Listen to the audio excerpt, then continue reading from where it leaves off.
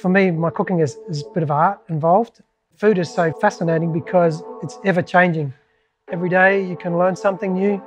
You never stop learning.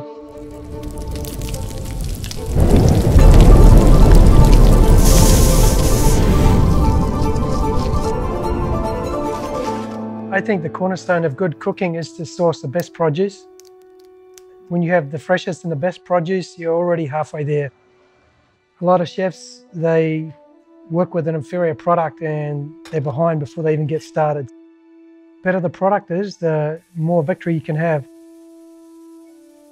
We're about to have a burrata with some fresh heirloom tomatoes, some striped Germans, they're called, really cool tomatoes, some really nice olive oil, very uh, fruity, delicate flavors, basil, some semi-dry tomatoes as well.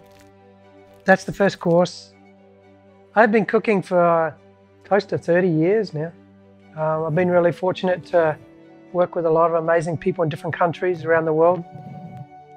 Second course was teaching people how to make salads and the importance of making a good dressing and what you can achieve when you have a good base, how you can go into your refrigerator and pull everything out and throw it into that base and end up with a, quite a nice meal. Surprise salads, if you like. Today is about mixing up different textures and flavors together.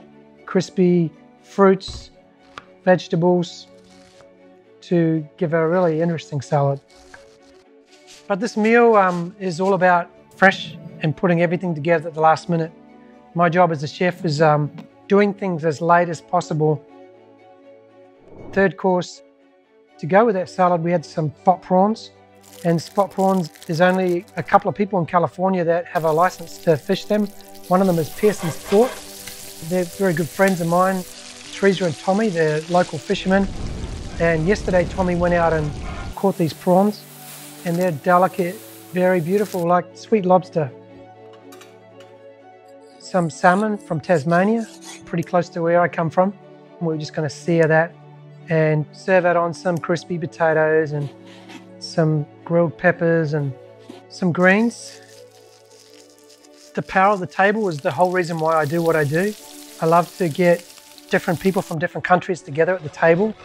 I feel like all the cultural barriers get broken down and people get to share on a deep level about who they are when they're really relaxed and enjoying the fellowship of good food. Then we took some big portobello mushrooms and we sauteed some baby onions and some roasted garlic and some butter and sort of capped those mushrooms and baked them. We served that with a beef tenderloin.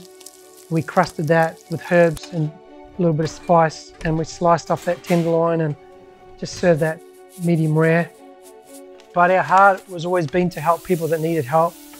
Following the call of God in our life, we ended up, went to Idaho, started working with a not-for-profit over there, develop a training program, walk with 450 refugees into jobs.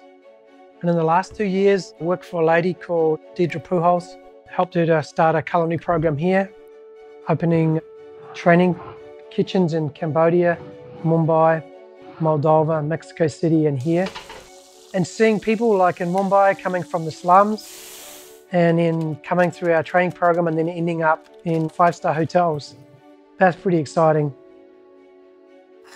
And that's followed with a dessert, chocolate caramel tart. It's quite a difficult one to make because the pastry is made with almond meal and very delicate pastry just to get the caramel to sit in there and then to put the ganache on top. That was going to be served with some nectarines and some poached stone fruits and then we top off the meal with some international cheeses from around the world. And they're served with some stewed fruits, some compote of figs and apricots, some baby grapes, some olives, sort of like sweet, salty, sour all on there. Some different textured cheeses. There's a triple filtered brie there from France. There's a Gorgonzola Dolce from Italy, Manchego, and also a, a very elegant Wisconsin cheddar and that was served with some fresh crostinis. Cooking for me is, is such a beautiful part of life, and I encourage people to, to spend more time having food with friends and inviting people they don't know to the table because I feel like that's where God meets us at the table.